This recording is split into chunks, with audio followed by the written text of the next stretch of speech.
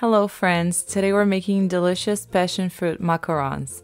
I will show you how to make the beautiful, colorful tie-dye shells and also the amazing passion fruit ganache. If you enjoyed this video, give it a thumbs up and also subscribe to my channel, I post new videos every week.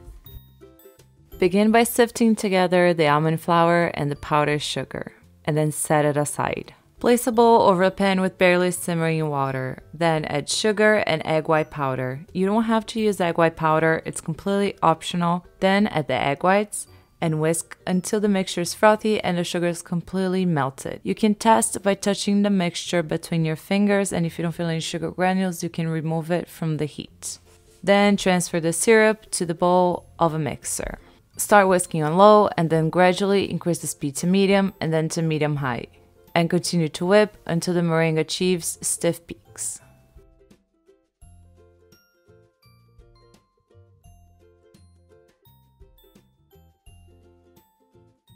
To check if the peaks are stiff, you should pull the whip up and the peaks should be shooting straight up. They should not be bending down to the side. Here, I'm going to transfer the meringue to this bowl so I can show you the macaronage process a little bit better. Pour the sifted powdered sugar and almond flour into the stiff meringue and start folding with a spatula. And then we're going to fold until we achieve the perfect consistency.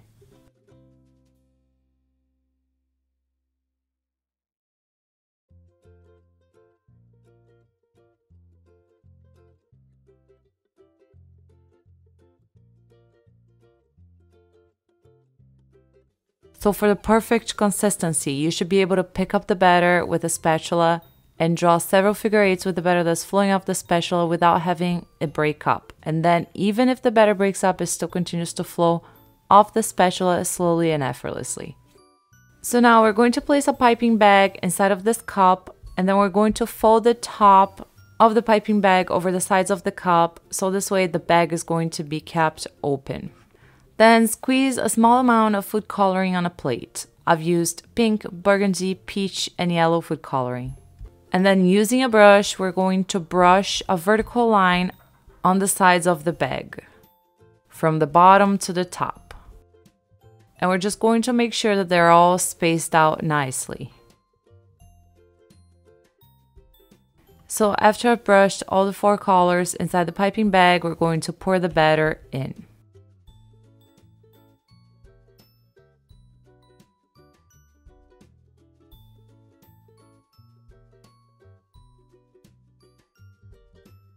And now we can begin to pipe. Place the piping bag directly 90 degrees over the center of each circle template. Apply gentle pressure and carefully pipe for about 3 seconds and then quickly pull the bag up. And as you can see, it's going to take a few macarons for the colors to start coming out with the batter. And towards the end, it's going to be very colorful. And I brushed a very small amount of food coloring on the bags this time. And after this, I made another batch where I brushed a lot of color on the side of the bags. And as you can see here, I'm piping that batter. It was coming out really colorful. The only problem was that most of this cracked, especially in the places where I had a lot of color. So I don't recommend using a whole lot of food coloring. Anyway, back to our other batter. After you pipe the macarons, Tap the trays against the counter or you can tap the bottom of the trays against your hand to release any air bubbles. And also use a toothpick to pop any remaining air bubbles from the surface of the macarons. Then let the shells rest for 20 to 40 minutes so they dry out. You know that they're ready to be baked when you can gently touch the surface of a macaron and it doesn't stick to your finger. I bake my shells at a 325 Fahrenheit oven. The oven temperature is going to vary the temperature that's best for your oven might be different than mine, so it's good to experiment with different temperatures and find out what works best for you. After 5 minutes, I rotate the tray again. This is not something that every baker has to do. I have to do it, otherwise my macarons will come out lopsided. And I bake each tray for about 15 to 20 minutes.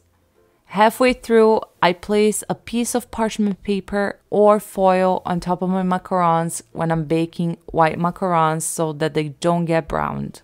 To test if the macaron's done baking, you can try to move a macaron and it shouldn't feel jiggly. If the macaron's still jiggly, keep baking. If it feels firm, you can remove it from the oven. And now we're going to make the passion fruit ganache filling. First, we're going to heat up the passion fruit pulp in a small pan until it comes to a boil. And then we're going to pour it over the chopped chocolate or the chocolate chips. Let it stand for a minute. And then start stirring with a spatula until the chocolate is completely melted.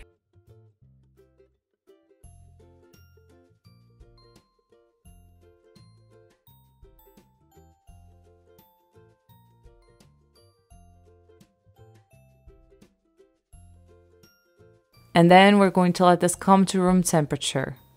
You will notice that as you let this come to room temperature, it's going to get very light in color, and that's totally okay. You can also refrigerate this for about 30 to 40 minutes, stirring every 15 minutes or so until it has the perfect piping consistency. Then we're going to place the ganache inside of a piping bag and pipe it on the bottom shells of the macarons. Don't forget to let the macarons mature in the fridge overnight before serving.